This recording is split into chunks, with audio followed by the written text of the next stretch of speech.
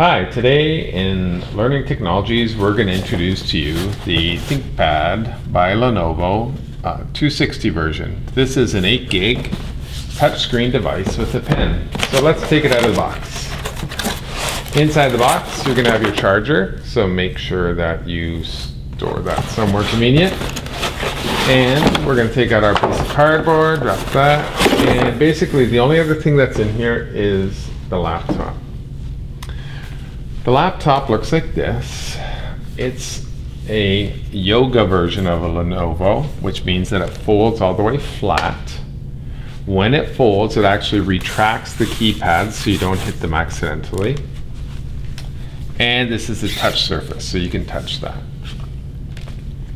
It also has one other part, which is embedded right here, and that is your pen. This is a rechargeable pen and it charges very, very fast and lasts for quite a while. So the convenient thing is no batteries for you to replace, and we'll just stick that back in here. You will see along the sides are all your ports. So you're going to see your basic audio port here, um, and here's your HDMI, which you're going to need for your smart boards. Your power button is right here, and conveniently you've got some audio adjustment levels right there. Fingerprint scanner. On the other side, you're going to see your this is where you plug in the device and you're going to see a more advanced port replicator port that you're probably not going to use and some other ports here that you're not going to need. This is a USB port though, so you're going to want to you're going to want to use that. This is a USB port, you're going to want to use that as well. You can put an external micro SD card in here, so if you want more space, that's where you can do it. Inside is a 256 gig SSD, a solid state drive. So there's no spinning disk in this one. And like I said, 8 gigs of RAM memory. I'm going to turn this on by pushing the power button here. And we're going to log in just so you can see what happens. So this should boot up now. And it should prompt us to log in.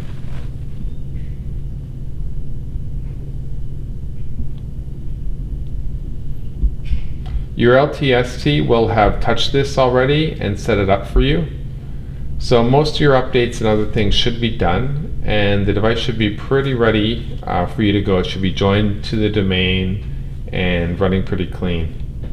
So here, this wouldn't be a normal part of the boot cycle. This would be because it's picking up on an update and installing it. That may happen depending on where your machine is in the process and when it was done and when you receive it. Though all those things could affect this. When you get a picture screen like this, it means you're going to be able to log in.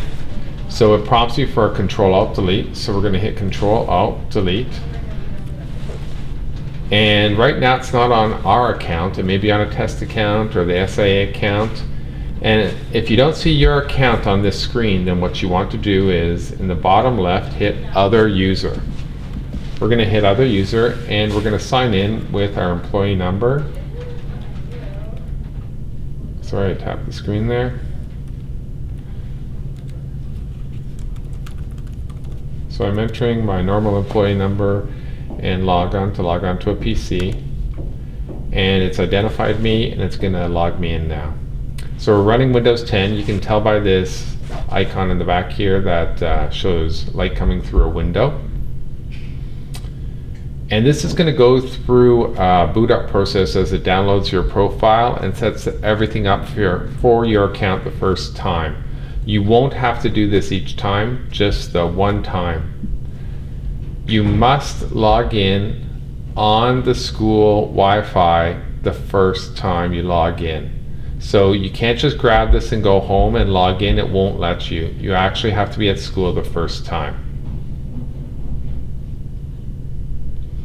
All right, so that didn't take too long. This is our login screen. It looks very familiar um, to what you would have seen in Windows 7, but you are running Windows 10 now.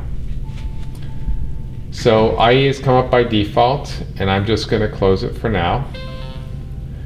You get a little notification updates were installed, that's why it took so long there. It's a couple of things you want to do just to make your environment um, a little easier to use. So we've got Chrome installed already, but you probably want it down here on the taskbar. So I'm gonna right click on Chrome here, and I'm going to say pin to taskbar. Now I've got my Chrome right down here, so that's great. Shortcuts and other things here, um, those are all on the staff portal. So really right now you don't need any of these. So all I'm gonna do is select them all and I'm gonna push delete.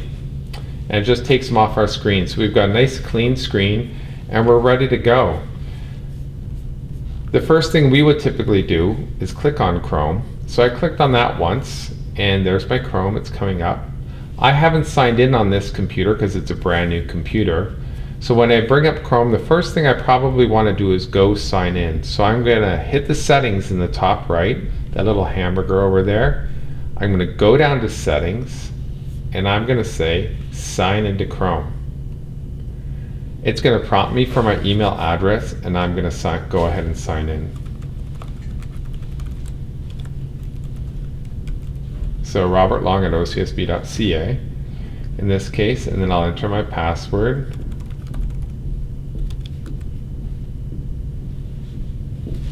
And I'm going to link my data. So I've signed in on other machines, of course, previously. So I'm going to link that data to this account and I'll be ready to go. I'm going to have it sync everything for me and say OK. Now I don't need my settings tab anymore and I am good to go. It's setting everything up, bringing in all my data, all my links and everything for me. So that's great. And the first thing I would probably do is just go to Gmail and do my mail. And there you are. So you're all ready to go. That's pretty much all you need to do on a basic setup. So I'll just close that. This is your new machine. There'll be further instructions on how to use pens and other things as we move forward. But to boot up and get going, that's all you need to do. Thanks.